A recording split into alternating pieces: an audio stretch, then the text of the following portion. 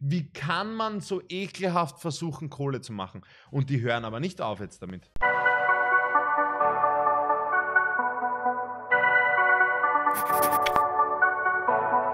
Serre Leute, was geht ab? Maximilian am Start. Ich begrüße euch zu einem neuen auf meinem Kanal. Ja, liebe Leute, ist, äh, das Warten hat schon langsam ein Ende. Nice, Digga. Wir haben ja damals aufgrund der Corona-Zeit ein Warten auf die nächste Kollektion von sechs bis zehn Wochen angegeben.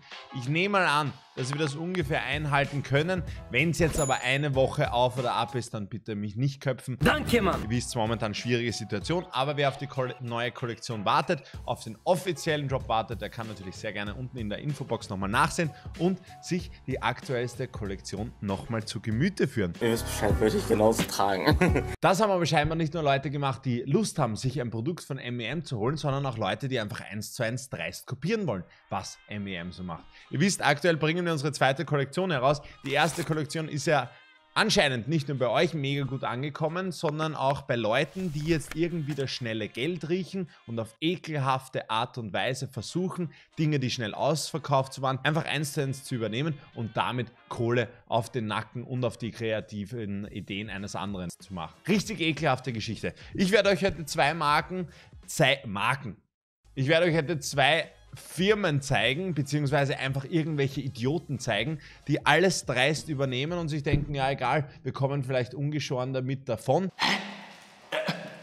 und wir machen einfach so unser Geld. Die erste Marke, da kann ich ja noch sagen, okay, das ist hart an der Grenze, ist zwar nicht jetzt wirklich sonderlich nobel, eins zu eins das gleiche Logo zu verwenden, also wirklich die gleiche Grafik zu verwenden, das dann etwas umzumodellieren, aber ich werde die Marken übrigens, ja, scheiß drauf, Three Muskets heißt die Marke, die haben einfach das gleiche Logo genommen. Okay, ja, das ist ein, ein Theme, das ist eine Schlange, die kann man aus dem Internet holen, okay, sage ich noch, ist in Ordnung, die haben das Ganze so auf ihr Shirt geprintet, auch stonewashed, aber die Schlange dann mit anderen Farben versehen und ihren Namen drüber geschrieben.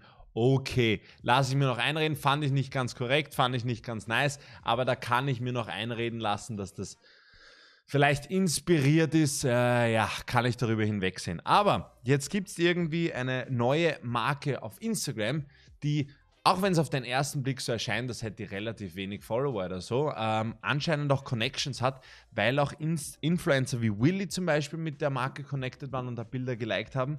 Äh, da sitzen einfach richtig ekelhafte Menschen dahinter. Und sollte man im Chatverlauf glauben, sitzt da irgendein junger Bursche dahinter, dem scheinbar alles scheißegal ist. Freunde, ich zeige euch jetzt mal Folgendes. Zuallererst zeige ich euch ein Bild, das von dieser Seite gepostet wurde. Und wenn wir uns dieses Bild ansehen, dann sehen wir bei Punkt Nummer 1 das Bullseye Bandits T-Shirt, wo man jetzt wirklich, und ich haus jetzt mal den Vergleich, einfach eins zu eins das gleiche kopiert hat. Man hat nicht gemacht, hm, schaut cool aus, wir machen sowas ähnliches, sondern einfach Copy-Paste draufgehauen.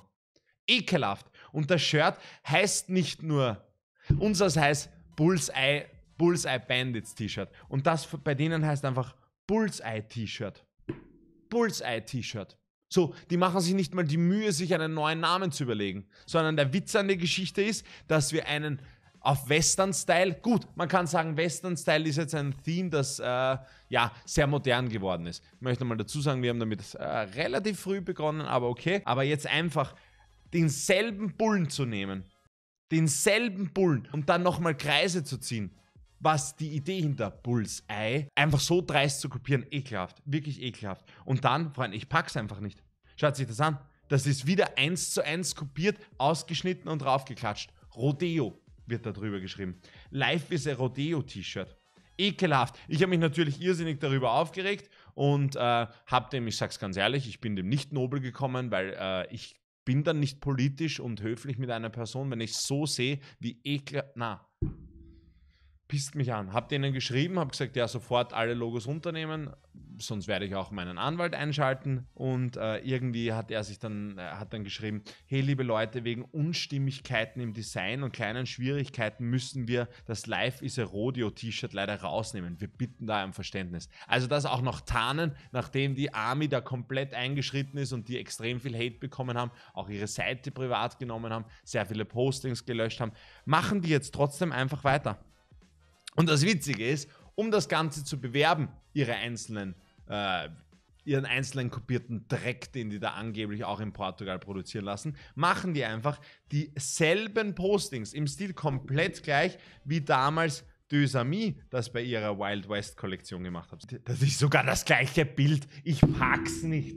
Das gibt's doch einfach nicht. Wie kann man so ekelhaft versuchen, Kohle zu machen? Und die hören aber nicht auf jetzt damit. Und das Witzige ist, die haben anscheinend noch nicht mal eigene Samples. Deswegen kopieren die aus unserer Story heraus und äh, das ist einfach ein Sample von uns, Leute. Das ist ein Sample von unserem, von unserem T-Shirt.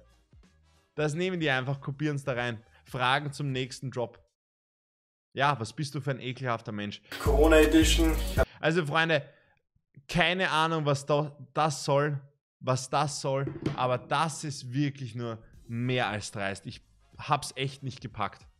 Ich wollte euch nur mal zeigen, zum einen, was da draußen für Leute. Schatz, es kann mir im Prinzip komplett egal sein. Ich kann sagen, ja, das zeigt uns, wir machen was richtig und hin und her und das ist eine gute Geschichte und das ist anscheinend schon so polarisierend, dass äh, eigene Marken entstehen, die einfach nur den, den Zweck verfolgen, unsere Designs zu klauen in Deutschland. Aber wenn du da einfach so viel Herzblut reinsteckst, die Ideen machst und, und dir wirklich überlegst, was für ein Konzept du machst und an Designs herumschraubst und dann gibt es irgendwelche Idioten, die das einfach nehmen, draufdrucken und das dann verkaufen wollen, bin ich einfach Brennhaas.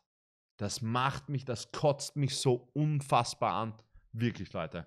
Ja, ich wollte das nur mal zeigen. Ich habe mir gedacht, heute ist die richtige Gelegenheit. Eigentlich ich, äh, hatte ich nicht vor, ein Video drüber zu machen, aber es pisst mich einfach an und die Stimmung will ich auch mit euch teilen. Liebe Leute, wir sind die wahren OGs. Die nächste Kollektion Britain Brawl dauert nicht mehr allzu lang beim offiziellen Job. Stöbert nochmal in der Seite, ähm, holt euch die Pieces, bevor sie gefaked werden müssen, damit neue äh, Designs in dieser Richtung am Start sind. Äh, den Schrott der da gepostet wurde, kann man sowieso vergessen. In diesem Sinne, liebe Freunde, ich wünsche euch einen wunderschönen Tag. Ich hoffe, ihr habt das Video spannend gefunden. Ich bin sehr gespannt, was ich zukünftig unter diesen Instagram-Seiten lesen darf äh, und wünsche euch in diesem Sinne, ja, viel Spaß. Bis zum nächsten Video. Das war's von mir, euer Maximilian. Cap, 280 Franken. Natürlich von Gucci. Nice, Digga. Würde ich genauso tragen.